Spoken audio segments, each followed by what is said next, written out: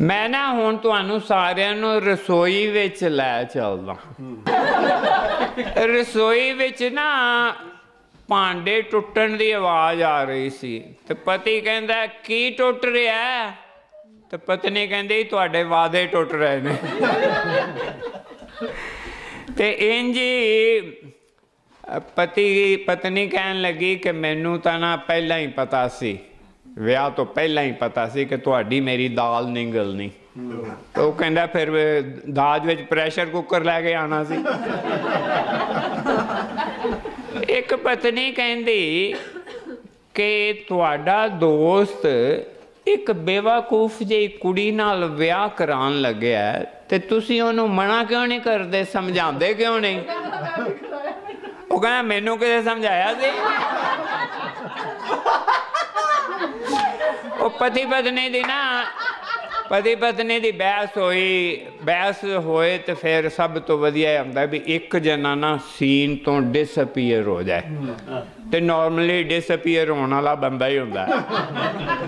ਉਹ ਬੰਦਾ ਚਲਾ ਗਿਆ, ਬਾਹਰ ਘੁੰਮਿਆ ਫਿਰਿਆ, ਆਪਣਾ ਗੁੱਸਾ ਉਹਦਾ ਉਤਰ ਗਿਆ ਤੇ ਉਹਨੇ ਫੋਨ ਕੀਤਾ ਸ਼ਾਮੀ ਪਤਨੀ ਨੂੰ ਕਿ, ਕੀ ਬਣਾਇਆ ਇਹ ਤੇ ਉਹਨੂੰ ਹਲੇ ਗੁੱਸਾ ਚੜਿਆ ਹੀ ਹੋਇਆ ਸੀ।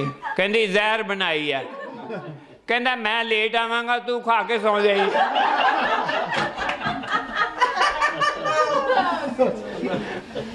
ਇੱਕ ਬੰਦਾ ਕਹਿੰਦਾ ਯਾਰ, ਤੂੰ ਮੈਨੂੰ ਬੜਾ ਕਹਿੰਦਾ ਵੀ ਮੇਰੀ ਜਨਾਨੀ ਬੜੀ ਡਾਢੀ ਹੈ ਬੜਾ ਗੁੱਸਾ ਆਉਂਦਾ ਉਹਨੂੰ। ਤੇ ਉਹ ਤਾਂ ਪਰ ਤੁਹਾਡੇ ਘਰ ਵਿੱਚੋਂ ਤਾਂ ਬੜੀਆਂ ਹੱਸਣ ਦੀਆਂ ਆਵਾਜ਼ਾਂ ਆਉਂਦੀਆਂ ਨੇ। ਆ ਬੜੇ ਹੱਸਦੇ ਹੋ। ਕਹਿੰਦਾ, ਗੱਲ ਇਸ ਤਰ੍ਹਾਂ ਕਿ ਗੱਲ ਠੀਕ ਹੈ, ਉਹਨੂੰ ਬੜਾ ਗੁੱਸਾ ਚੜਦਾ ਤੇ ਗੁੱਸੇ ਵਿੱਚ ਨਾ ਉਹ ਮੈਨੂੰ ਪਲੇਟਾਂ ਮਾਰਦੀ ਹੈ। ਤੇ ਜੇ ਮੈਨੂੰ ਲੱਗ ਜਾਣ ਤਾਂ ਉਹ ਹੱਸਦੀ ਹੈ, ਜੇ ਨਾ ਲੱਗਣ ਤਾਂ ਮੈਂ ਹੱਸਦਾ। ਇੰਜ ਇੱਕ ਨਾ, ਉਹ- ਉਹੀਓ ਪਤੀ ਨੇ ਨਾ, ਉਹ ਜਾ ਕੇ ਡਿਵੋਰਸ ਵਾਸਤੇ ਅਪਲਾਈ ਕਰ ਦਿੱਤਾ। ਜੱਜ ਕਹਿੰਦਾ, ਕੀ ਗੱਲ ਹੈ? ਕਹਿੰਦਾ ਜੀ, ਇਹਨੂੰ ਜਦੋਂ ਗੁੱਸਾ ਚੜਦਾ ਨਾ, ਇਹ ਫਿਰ ਮੈਨੂੰ ਪਲੇਟਾਂ ਮਾਰਦੀ ਆ। ਉਹ ਕਹਿੰਦਾ, ਕਦੋਂ ਤੋਂ ਮਾਰ ਰਹੀ ਹੈ ਕਹਿੰਦਾ ਜੀ, ਪਿਛਲੇ ਨਾ 5 ਕੁ ਸਾਲਾਂ ਤੋਂ।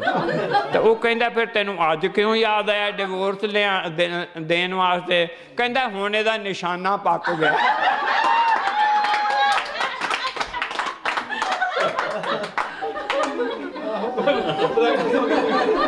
ਇਹ ਸਹੁਰਾ ਬੜਾ ਨਾਰਾਜ਼ ਹੋਇਆ ਬਈ ਇਹ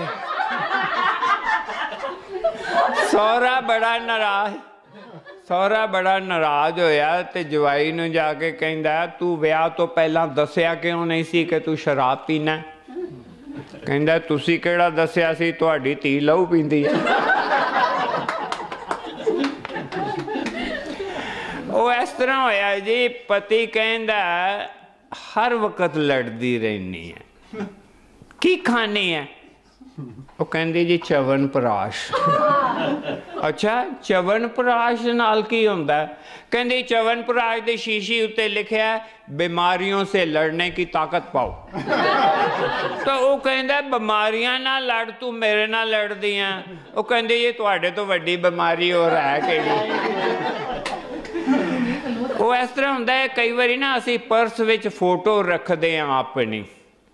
ਪਤੀ ਆਪਣੀ ਪਤਨੀ ਦੀ ਫੋਟੋ ਰੱਖਦੇ ਨੇ, ਪਤਨੀਆਂ ਆਪਣੇ ਪਤੀ ਦੀ ਫੋਟੋ ਰੱਖਦੇ ਪਰ ਉਹਨਾਂ ਦੇ ਕਾਰਨ ਥੋੜੇ ਜਿਹੇ ਵੱਖਰੇ ਹੁੰਦੇ ਨੇ। ਪਤੀ ਜਦੋਂ ਫੋਟੋ ਰੱਖਦਾ ਹੈ ਨਾ, ਤਾਂ ਉਹਦਾ ਮਤਲਬ ਹੁੰਦਾ ਉਹ ਜਦੋਂ ਡਰਿੰਕ ਕਰਨ ਜਾਂਦਾ ਨਾ, ਤੇ ਇੱਕ ਡਰਿੰਕ ਮੰਗਾਇਆ, ਪੀ ਲਿਆ, ਫਿਰ ਦੂਜਾ ਪੈਗ, ਫਿਰ ਦੂਜੇ ਪੈਗ ਤੋਂ ਬਾਅਦ ਫਿਰ ਫੋਟੋ ਕੱਢੇਗਾ ਪਰਸ ਵਿੱਚੋਂ। ਫਿਰ ਇੱਕ ਹੋਰ ਪੈਗ ਲਾ ਲੇਗਾ ਫਿਰ ਉਹ ਵੇਟਰ ਕਹਿੰਦਾ, ਕੀ ਗੱਲ ਹੈ ਕਹਿੰਦਾ, ਮੇਰੀ ਪਤਨੀ ਦੀ ਫੋਟੋ ਹੈ, ਜਦੋਂ ਮੈਨੂੰ ਸੋਹਣੀ ਲੱਗਣ ਲੱਗ ਪਈ ਮੈਂ ਘਰ ਚਲਾ ਜਾਵਾਂ। ਤੇ ਪਤਨੀਆਂ ਵੀ ਫੋਟੋ ਰੱਖਦੀਆਂ ਨੇ। ਉਹ ਸਹੇਲੀ ਕਹਿਣ ਲੱਗੀ ਕਿ, ਮੈਂ ਬੜੀ ਵਾਰੀ ਦੇਖਿਆ, ਤੂੰ ਆਪਣੇ ਪਰਸ ਵਿੱਚੋਂ ਆਪਣੇ ਪਤੀ ਦੀ ਫੋਟੋ ਕੱਢ, ਕੱਢਦੀ ਹੈ। ਤੂੰ ਬੜਾ ਪਿਆਰ ਕਰਦੀ ਹੈ ਪਤੀ ਨੂੰ। ਤੇ ਉਹ ਕਹਿੰਦੀ ਹੈ ਹਾਂ, ਇਹ ਨਾ ਮੇਰੀ ਇਨਸਪਾਇਰੇਸ਼ਨ ਨੇ। ਮੈਨੂੰ ਜਦੋਂ ਵੀ ਕੋਈ ਪ੍ਰੋਬਲਮ ਆਉਂਦੀ ਹੈ ਨਾ, ਤਾਂ ਮੈਂ ਇਹਨਾਂ ਦੀ ਫੋਟੋ ਦੇਖਦੀ ਆ ਤੇ ਕਹਿੰਨੀ ਆ, ਜੇ ਤੂੰ ਇਸ ਪ੍ਰੋਬਲਮ ਨੂੰ ਹੈਂਡਲ ਕਰ ਸਕਦੀ ਹੈ ਤਾਂ ਦੁਨੀਆ ਦੀ ਕੋਈ ਵੀ ਪ੍ਰੋਬਲਮ ਨੂੰ ਹੈਂਡਲ ਕਰ ਸਕਦੀ ਹੈ ਖੁਸ਼ ਰਹੋ, ਖੁਸ਼ਹਾਲ ਰਹੋ, ਹੱਸਦੇ ਰਹੋ, ਵਸਦੇ ਰਹੋ। Thank you very much